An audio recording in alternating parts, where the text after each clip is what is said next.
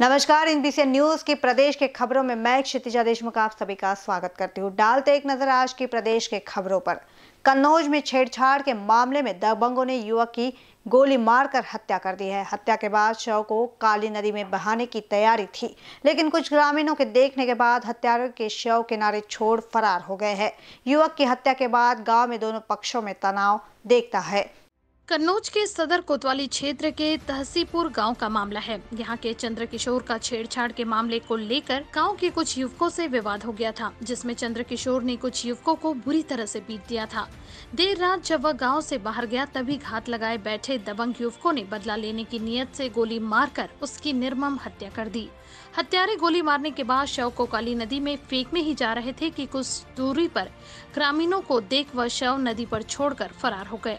पूरा मामला सर ये है कि मेरा भाई शाम को लेटरिंग निकला था सात बजे तो कुछ लोगों ने पकड़ कर यहाँ पर ला और बस मार दिया पहले कहीं फिर यहाँ पे नदी में फेंकने आए थे, बस फेंक फेंक नहीं पाए किसी वजह से बस। हाँ जी सर, थोड़ा बहुत विवाद चल रहा था इसे बस।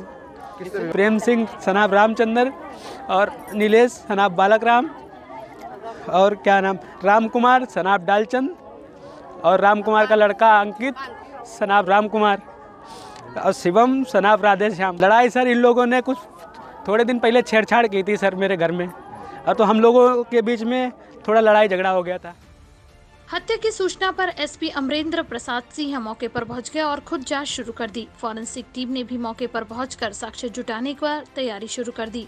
एसपी का कहना है कि पोस्टमार्टम रिपोर्ट में मौत के कारणों की पुष्टि हो जाएगी। उन्होंने कहा कि परिजनों की तहरीर के आधार पर मुकदमा दर्ज कर कार्रवाई की जाएगी। ये चंद्र किशोर लोधी नाम का लड़का है, बाईस तेईस साल उम्र होगी तो इसका शव नदी किनारे तहसीपुर में मिला है। घर से जहाँ पे शव मिला है, उसकी दूरी करीब एक डेढ़ किलोमीटर से ऊपर ही होगी। सुबह में डायल हंड्रेड से इसके बारे में जानकारी प्राप्त हुई कि एक बॉडी मिली है। पास ही में तमंचा मिला है और हमारी फॉरेंसिक टीम यहाँ पे आई है, वरिष्ठ अधिकारी। मैंने भी घटना स्थल का मुआयना किया और अभी उसका पोस्टमार्टम भर के हम लोग भेज रहे हैं। और परिवार की तरफ़ से अभी तहरीर हम लोगों को प्राप्त नहीं हुई है। तहरीर प्राप्त होगी तो उसके हिसाब से कार्रवाई करते हुए और विवेचना की जाएगी अग्रतर कार्रवाई की जाएगी।